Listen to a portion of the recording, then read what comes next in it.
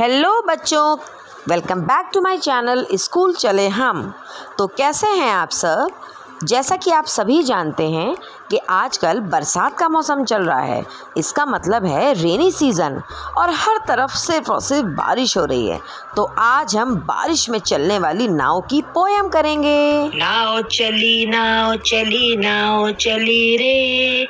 नाव चली नाव चली नाव चली रे। हम सब सबको लेकर गाँव चली रे। हम सब सबको लेकर गाँव चली रे। हैया हो हैया हैया हो हैया, पानी में चले मेरी छोटी सी नैया। हैया हो हैया हैया हो हैया, पानी में चले मेरी छोटी सी नैया।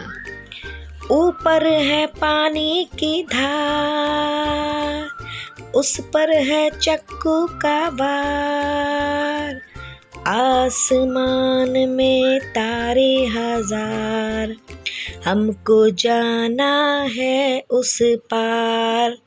हमको जाना है उस पार।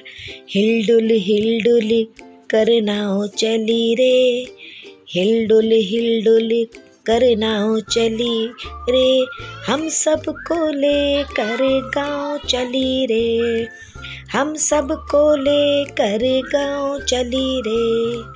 हैया हो, हैया हैया हो, हैया, पानी में चले मेरी छोटी सी नैया।